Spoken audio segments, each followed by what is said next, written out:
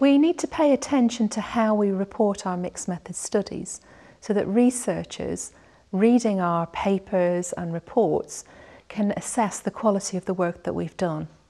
To this end, uh, O'Cathain and colleagues in 2008 produced some guidance to help researchers uh, report their studies well. It's called Good Reporting of a Mixed Method Study, or GRAMMS. There are six items in GRAMMS. The first item is about justifying the, uh, the reason why you have used mixed methods research. The second item is about describing clearly the mixed methods design you have used.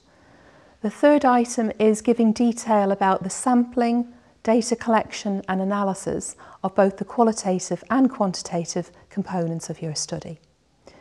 The fourth, fourth item is about integration of the qualitative and quantitative components, both how you have integrated and who has been involved in that integration.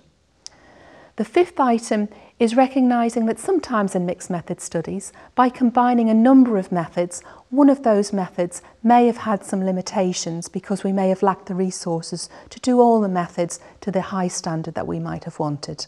And we need to be clear about whether this occurred in a mixed method study.